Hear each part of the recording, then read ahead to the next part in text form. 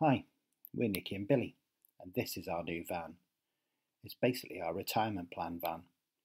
So later this year, we'll be leaving work and travelling south for winter, hopefully as far as Africa. But until then, we'll be travelling around doing different weekends, and if you want to come along, hit subscribe. It's free, and hopefully we'll catch you on the road. Bye. Hello. Hello. so, weekend at home this weekend as uh, Billy's son Jake came to stay. Um, so yeah, just a, a, chilling weekend at home, getting a few jobs done. Yeah. Um, and then hopefully we'll get away again. Maybe not this weekend, but hopefully the weekend after. Yeah. So um, yeah, so really we were just going to talk about. Well, what are we? Are we going to talk about the awning to start So, with? Yeah, so we've ordered one. Well, I've ordered one. Yeah. Um, and if I'm talking a bit funny, it's because I've had, I've had I've been to the dentist and I've had a tooth out. So yeah, I was a little bit put off and didn't really want to get another on in. Not yeah, one because they're expensive, and two when I realised how much damage it could have done, it did actually put me off. And I thought, mm, I'm not right keen. You know, I'd rather do without. Even though I've always we've had an awning and we've used an awning for the past three years without a single issue.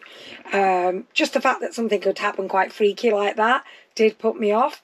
But um, Billy's been in cahoots with his mum and uh, he's ordered a new one. So yeah, I mean it will look good. It'll look, it'll, you know, smarten it back up and look really nice. And I think we're going to be very, very, very careful when we use it. So I'm not taking what's on off. I'll let them do that so I don't do any more damage. So we're not sure Yeah. if the the fixtures and fittings work or not. They sent some photographs to them and they think it might be all right. So fingers So we'll crossed that see. will save us some money. It might save us 200 quid. and and um, so that's the awning. Isn't it? someone's recommended I go through the insurance as well, which Yeah. I wasn't really sure about. So if anyone else has has uh, claimed, Claimed for an something awning. similar, will you let us know, please? Yeah, is it worth trying? We're gonna have to try anyway. aren't we? Yeah. it's worth trying, isn't it? But Yeah. did anybody have success? Yeah. So I didn't think it would be, so I thought, you know, it's probably not worth it. But yeah, then maybe we'll give it a go. Yeah. So what else can we talk about?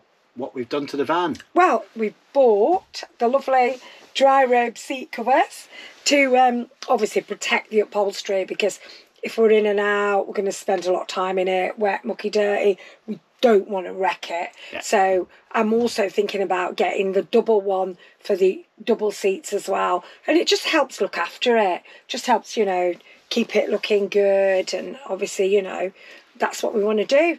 Yep, So- TNT Adventures in Jersey have got 68, haven't they? Yeah, they've And got we it. saw they had these and they've got the double one on, so Yeah. that's where the idea come from. We spotted it on like, uh, one of their uh, videos. Yeah, so and they're not expensive either. I think Uh, they I were what? Be, they're cheaper than a Dryrobe. Yeah, they're about forty. They're quite expensive for a Dryrobe, aren't they? Forty something quid each, Yeah. which I thought for really good chair covers that look decent.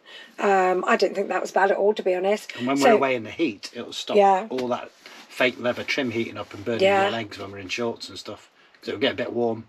And these uh, keep you warm in winter and cool in summer, apparently. And obviously they'll come off and wash, which is absolutely excellent. perfect. Protect the fabric, come off and wash.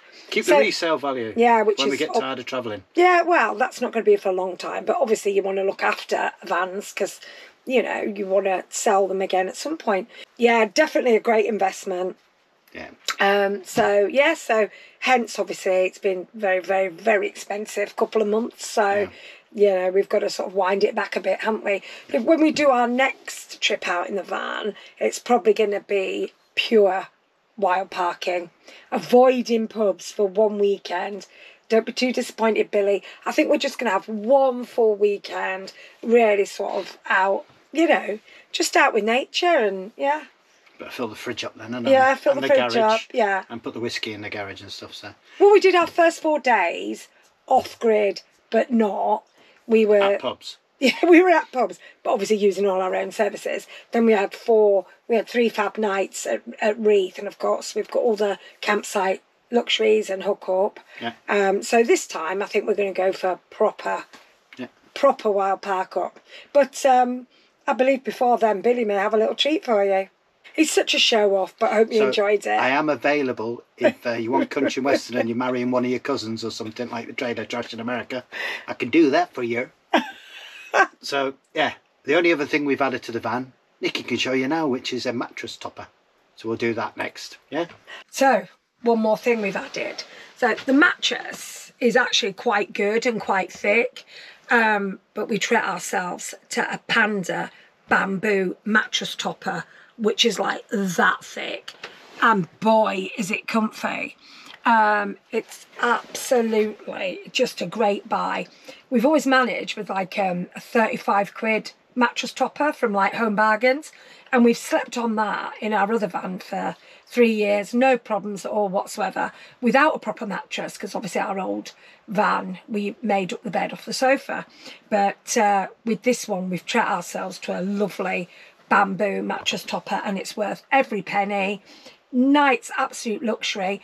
What we did with our old topper is because obviously the garage is like an empty metal box, we've put the old topper underneath the lats. So it'll protect the well it'll protect the mattress from underneath and it'll protect you know it'll give us a little bit more insulation from from underneath in uh, cold weather. But i have to say this van seems really really well insulated and it seems really really warm. So you know comfy nights for us well before we give you an update on the van and what we're doing do you remember this again there seems to be a theme this week it's uh, calamities and whiskies. I'm blaming Sharon and Sharon there's a song, Ian. There's a song. It's Sharon and Ian's fault. Yeah, there's a song there, and I'm going to write a country western song called "Calamities and Whiskey." Mm. I had my calamities and whiskey. Mm. Well, turns out we kind of made a song. Well, it must have been the end of March. Came down from the range, I was feeling parched Been out on the saddle up on Parkside Ridge. We camp at a one horse town called Reeth. Got a little taste of whiskey on my teeth. Should have been north of the Great Grinton County Bridge. That's when it decided to break my heart. Without a word, it did depart Just as I was getting a cold one from the fridge. All together now, calamities and whiskey. Bet my canopy don't miss me. Blew away on that fateful day, just as the wind got frisky. Oh, calamities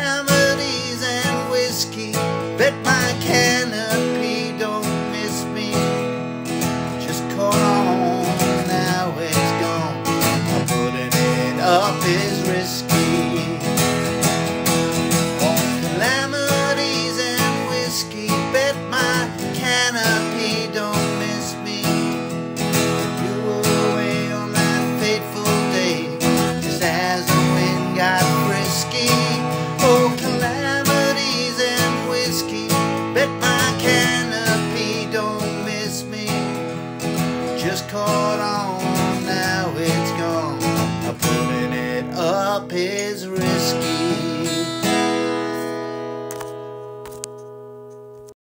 Hi, so that was just a quick catch up.